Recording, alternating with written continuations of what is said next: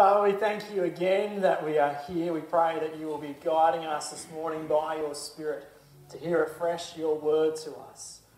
Please help me speak what is true and what is from you and for your glory. This we ask in Jesus' mighty name. Amen.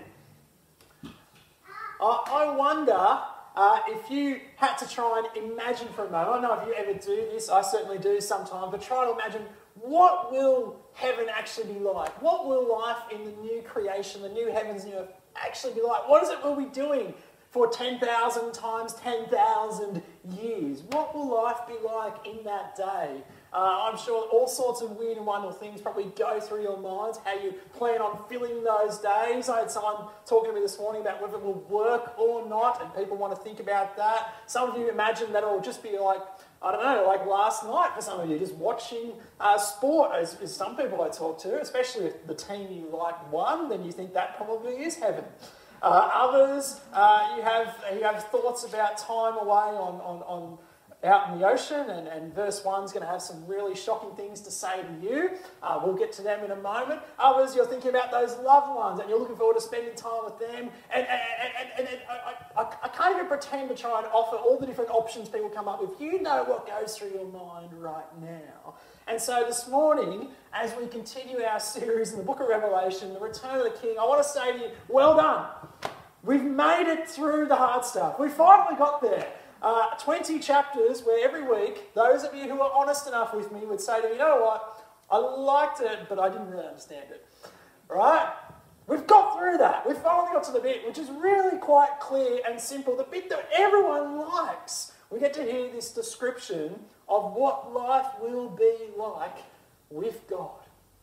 Uh, and so we're going to hear, we're going to spend the next couple of weeks just dwelling in this joyful place because, of course, we've spent so much time uh, in, in, in, sort of thinking about issues that have been quite difficult. I want us to spend a couple of weeks just enjoying hearing God speak to us about what life will be like and filling us with hope. Uh, so this morning we're going to hear three things about what heaven will be like. First of all, that God will be there. We're going to hear that there'll be no more death, mourning, crying, or pain. Those things will not be there. And then we're going to hear about who actually will be there with God. And it's going to be those who have drunk the water of life. Uh, so let's get into it there. And as I said, verse 1 is going to shock a few of you and make a few tears appear in this room, I think, uh, unfortunately, because John has this vision of a new heaven and new earth for the first heaven and the first earth had passed away. A lot of people speculate about whether that means complete destruction or renewal. You can chat to me about, your, about that later if you want. The point is, it, there is some sort of renewal at least, and it's now in this perfected status. And then it says, for the, for the first earth had passed away, and there was no longer any sea. And I saw the holy city, the new Jerusalem, coming down out of heaven from God, prepared as a bride, beautifully dressed for her husband. Verse 2, that gets fleshed out more in the rest of chapter 1. We'll see that next week. But some of you are having panic attacks about verse 1, aren't you? There was no longer any sea. No fishing, no surfing, no boating, no probably no beach, I presume that means. It's that's panic worthy, isn't it? Uh, I have read many, many commentators try and explain it away because I think they also go through panic. Uh, look, you probably can explain it away. I think the point of that is not to say there'll be no fishing. I don't know if there will or will not. I really don't. What it, but, but throughout Revelation, really throughout the Bible, the sea has been symbolic of chaos. Uh, in the Old Testament, it's where Leviathan comes out of. In, in, in Revelation, we heard about the beasts being created out of the sea. It's this place of, of chaos and uncertainty, and, and, and, and it's where, you know, the dead are, are, are, waiting to come out from, and of course there's not going to be any more dead. So the point is, that aspect of creation shall be no more. Whether it literally means you won't get the fish, I can't answer that for you, I really can't. But the, the really simple answer I can give you is, it'll be heaven. Like, if there isn't any fishing, you're not going to miss it. You know, I think God's fairly in control of, of making things pretty good. Um, but anyway, just to answer that little panic-worthy moment that some folk have, I didn't answer it at all for you, really.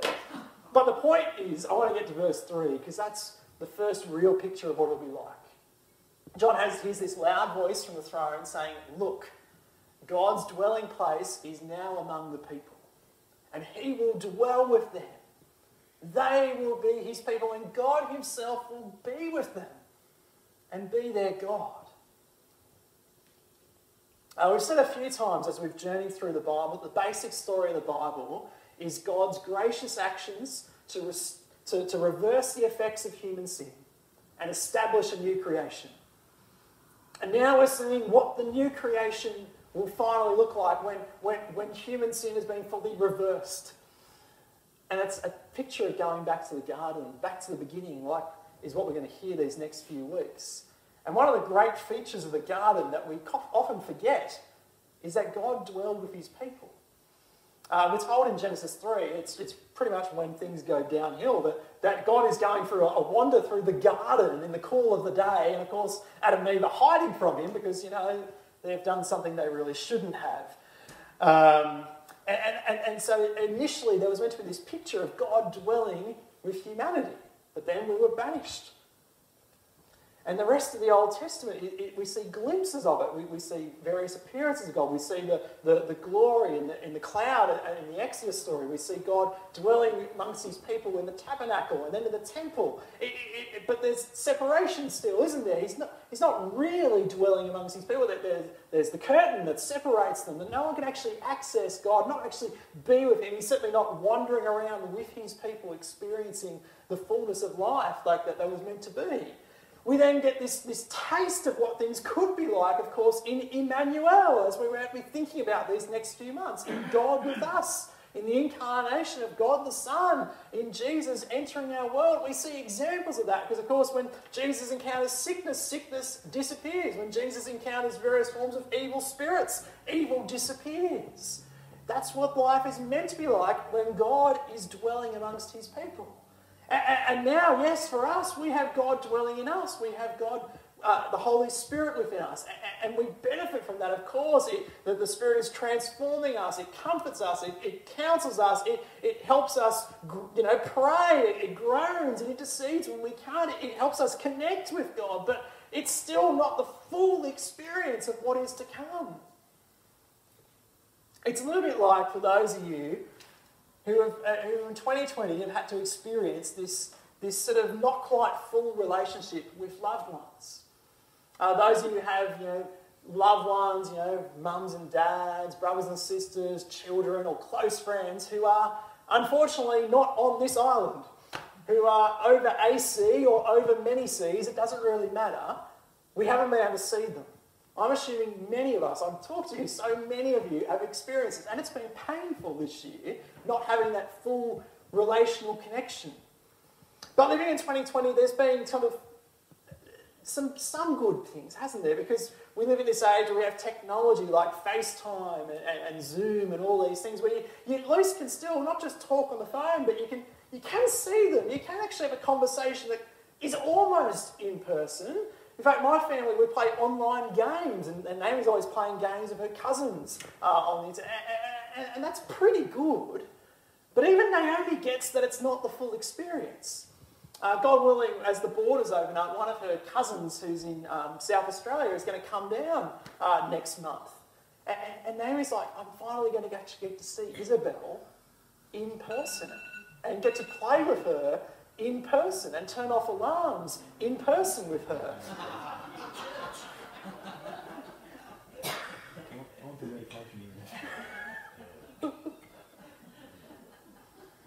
And she can't wait for that in person experience because there's something far more special about that. And that's the picture that we've been painted here is that, yes, at the moment we, we, we can experience God, we have His Spirit within us, we, we have all these wonderful benefits, but it's not actually having God dwell with us, God walking amongst us, God being with us. It will be wonderful. And so, friends, in the here and now, when you find yourself struggling, you find yourself distant from God, when it, when it feels difficult, know that a time is coming when that will be the most foreign feeling you can imagine. When you will see Him face to face. When we will be with Him for eternity. It will be wonderful. It will be glorious. It is the absolute core thing that makes heaven heaven, is that God will be there with us, his people. That's the first thing uh, that we're seeing this morning. And the second is, is one of the, then the implications of God being there in this renewed creation is that everything that's wrong in the here and now will be no more. There'll be no more death, mourning, crying, and pain. Uh, the next thing uh, that is said, I think, is one of the most like intimate verses in the whole of the scriptures, one of the most cherished and, and beautiful images. In fact, uh, it's, it's hard to think of an image anywhere that is more special. It says that God will wipe every tear from there, from our eyes. There are a few more intimate human actions that we can do than wipe away someone's tears, to be able to get close enough to someone, for that person to trust you enough, to allow you to, to put your hand on their face and wipe away their sorrow. It's saying that's what God will do for us. He will presumably bend down, I don't know, and wipe the tears from our eyes. Like a father who, who sees their child in pain and in sickness and upset about whatever it might be, and all they want to do is wipe the sorrow and the tears away. That's how God feels right now when He sees the sorrow we go through, and now there, knowing there's a time when He will actually remove those tears. It is a beautiful image. I hate to say the next bit because it's almost going to ruin it. But I don't think it's really going to happen. You say, I don't think it's really going to happen because I think it's meant to be a metaphor to describe what life really will be like. Because God's not going to bend down and, and wipe away your tears in the new creation because there will be no more tears. Because the, the experience that we're going to have is that there will be no more death, no more mourning, no more crying, no more pain. For all the, the old order of things, all the things that, that burden us now will pass away. You just have to take a moment just to let that soak in. I'm preaching to the choir here. You all know that life is hard. We all have people whom we wish were in this room this morning, but they are no longer with us. We wish that we could actually have a FaceTime with them, even. But we can't even do that anymore. But that will not be the experience of anyone in the new creation because there will be no more death. That song we sung, Where, O death, is your victory? Where, O death, is your sting? We can say that because it will be gone. No more of the mourning that is attached to it that can last for days and weeks and months and years and for whole lifetimes as we mourn the loss of people that we really care about. And crying, as I said before, there's no more crying, therefore, there's no more wiping tears away. I don't know. Those of you who have tears of joy, I guess you probably will still experience that. Um, I've never been someone who cries because I'm happy, but I know some of you do. I, I, I imagine that, that you might still be able to do that. But there'll be no crying about sadness anymore because there'll be nothing to be sad about all those things that just weigh us down right now, all the pain that we go through, whether it be the, the relatively trivial pain. I know, you know, this past week or so, my household, we've been feeling our, our mortality, I guess you could say. Uh, you know, Naomi's had this little infection that she's missed. She only went to school on Monday. Uh, Lynn keeps just hurting herself in weird and wonderful ways. She just keeps banging into things and just somehow hurting herself. Uh, and of course, I had to admit to my, you know, oldness the other week, didn't I, with my, my back that I managed to somehow hurt and couldn't get out of bed, as embarrassing as that was. You know, and, and they're all fairly trivial, but you, some of you, you know pain in the physical sense. You know that your bodies are broken. Some of you, your, your eyes really don't work that well anymore. You can't see what you once saw. You can't hear the things you once heard. You, you miss out on the, on the beauty of sound and the beauty of sight. And, and, and for others, you, you, live in constant pain. No one else knows this, but your, your body is just aches day in, day out. You are broken. And, and it's just, there is no more of that. And of course, pain, as we all know, is not a physical, just a physical thing. There are so many things in life that just cause us grief and cause us agony and cause us sadness, and those things are gone.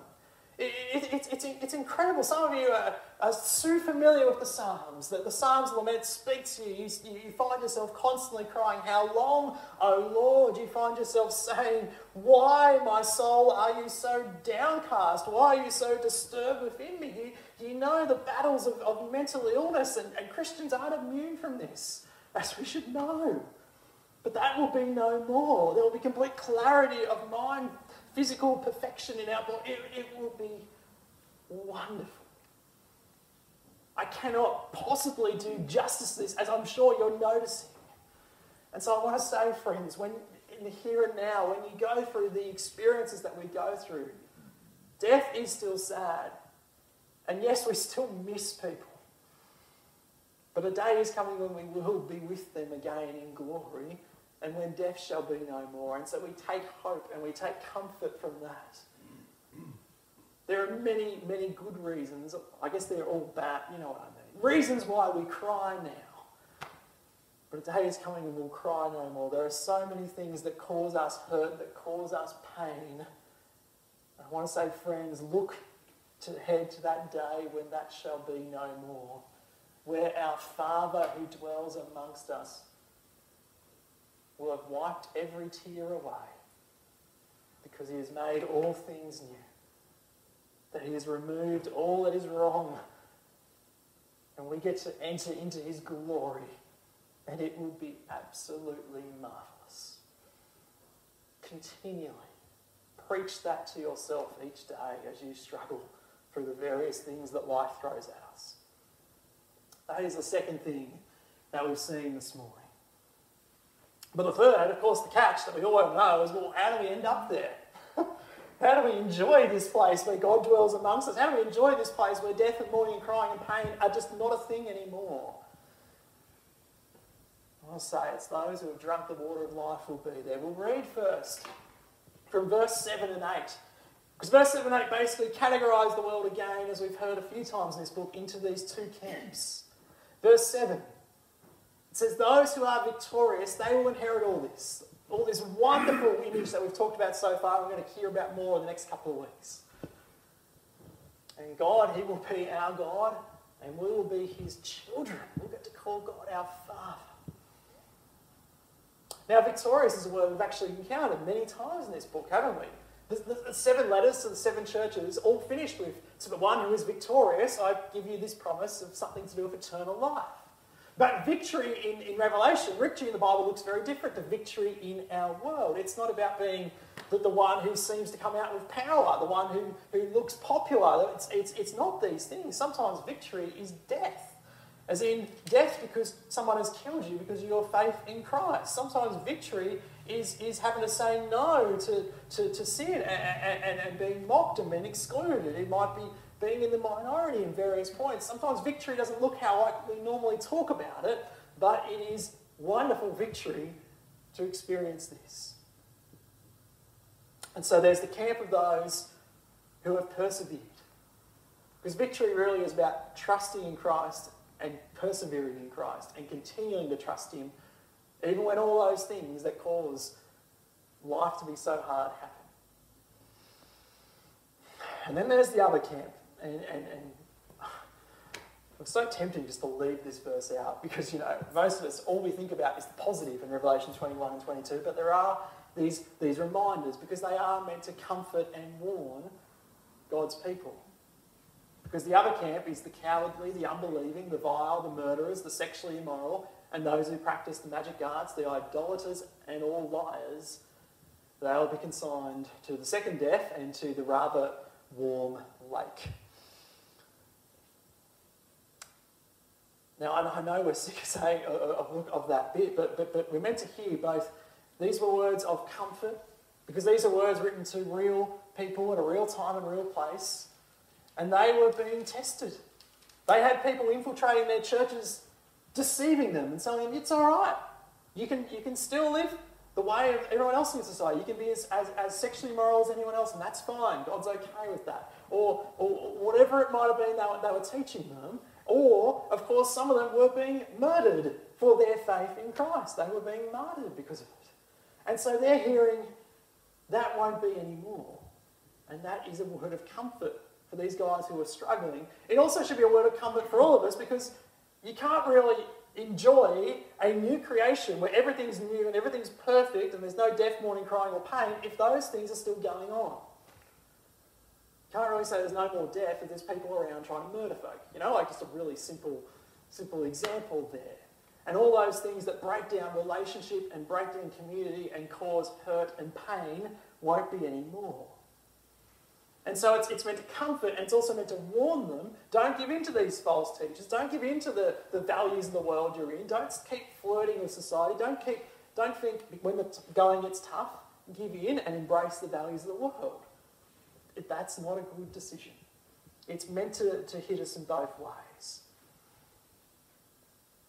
But I also think it's meant to hit us in this way that we realise hang on, I could be in trouble in this list. So it's interesting, I think it starts with the cowardly and unbelieving and finishes with liars, because basically it's talking about people who were part of the church and gave up. And we realise, hang on, sometimes when life gets tough, I do want to give up on God. But sometimes I realise, hang on, I don't always stand up for Jesus. Sometimes I, I, I, I you know, go a bit quiet when those controversial issues come up and someone's looking for the, the God opinion on it. And when I think about murder, I'm, I mean, I'm assuming we haven't got anyone who's murdered anyone in the room this morning. I said that at Stanley. They all laughed. You guys are just silent, so I'm a little concerned about that. But then when Jesus talks about if you hate someone that's like murder, I think, oh, that could be a trouble. And a sexually immoral, you know, it doesn't matter how you define that, because how does the Lord Jesus? He says if anyone lusts after someone, they, have committed adultery with them. You think, oh, oh that's standard, I'm going to be in trouble. And I've certainly lied, and I've certainly, you know, we're in trouble here. And that's where remember again why it is we actually get to enter into this new creation. It's because of what Christ has done. And it's by accepting his offer of the water of life.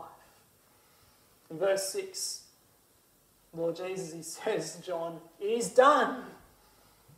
It's the third time, really, he says that. We spoke about this a few weeks ago. He says, It is done, or it is finished on the cross, to say, I have paid for your sins, and I've paid for the times where you have failed to lead my way. He says, It is done a few chapters ago when it came to judgment, that he has finished that. And now it is done. I've established the new creation. We are now in this lifetime of perfection, is what he's saying. He says, I'm the Alpha and the Omega, I'm the A to Z, I'm the beginning and the end. And he says, To the one who is thirsty, I will give them water without cost from the spring, the water of life. To the one who thirsts after him, to the one who realizes, hang on, by my own goodness, by my own deeds, by my own works, I'm not entering this new creation. To one who realizes that they have nothing to offer, he offers the free gift without cost of the water of life. I wonder if any of you have ever thirst, thirsted before thirst. I'm going to debate that in my mind later. But I wonder if you ever felt really thirsty before, like really thirsty, like I can't live if I don't have a drink. Thirst. it is a horrible feeling. It's one that, by the grace of God, we pretty much never experience in our society.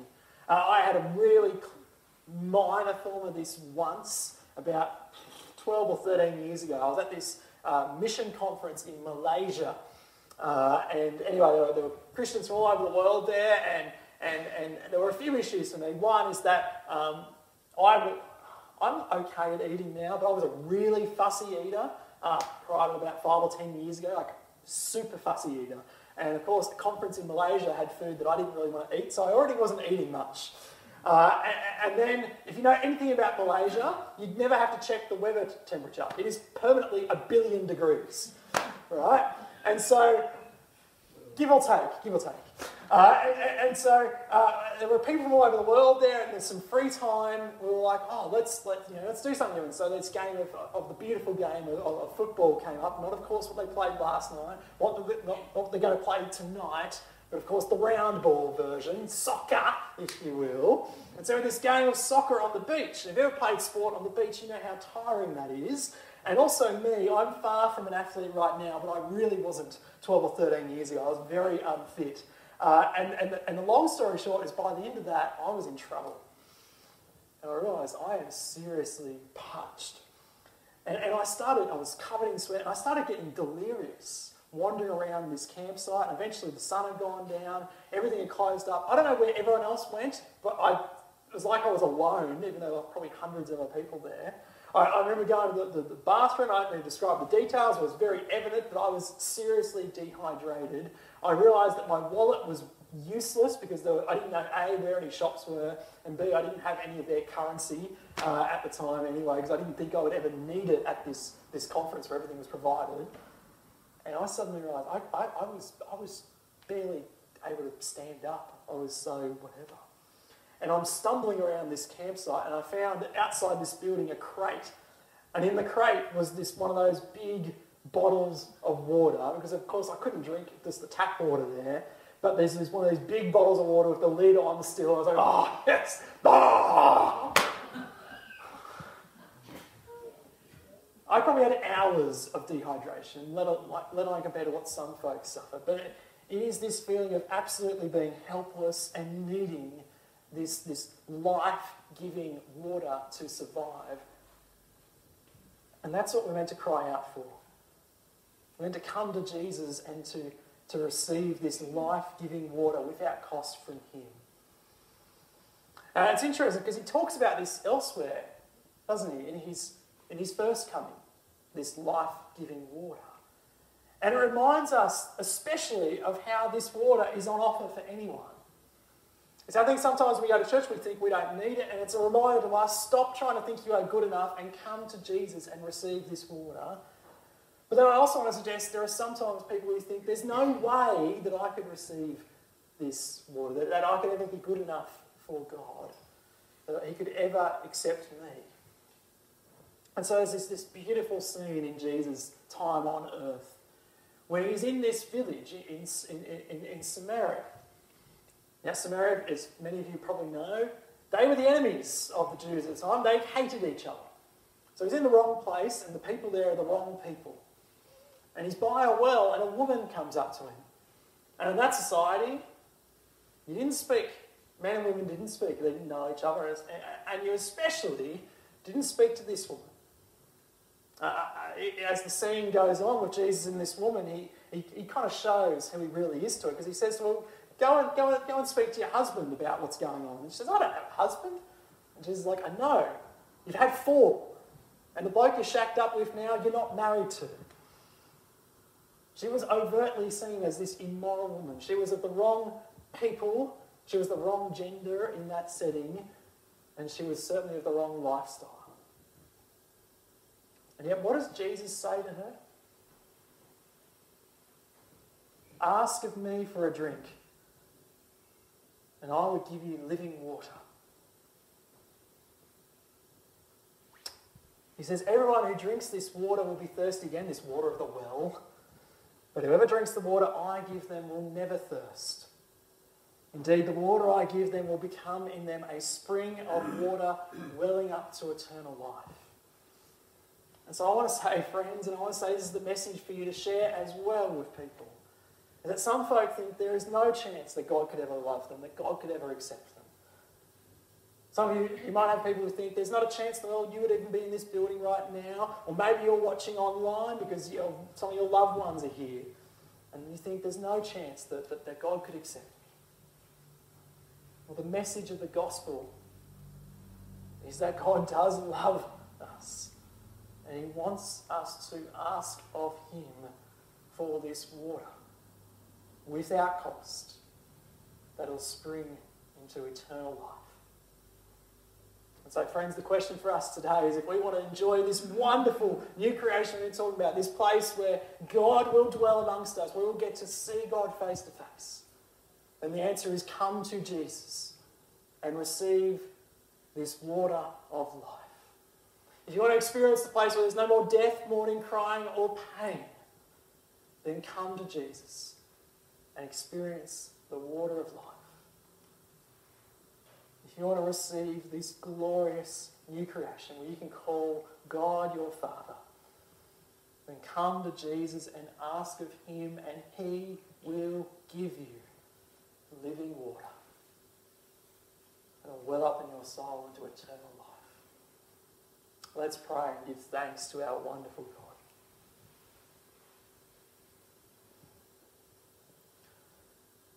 Lord God, we give you thanks and we give you praise that you are wonderful, that you are our Father, and we long for the day when we will be with you in your presence, when we will experience life in abundance with you, when there will be no more death, mourning, or crying or pain. We pray that you will fill us with this hope each day. We pray in thanks that we just need to ask of you and you will give us this drink of the water of life. And we pray that we will share this message with our friends, with our families, with our loved ones who need to come to you and find life in your Son forevermore.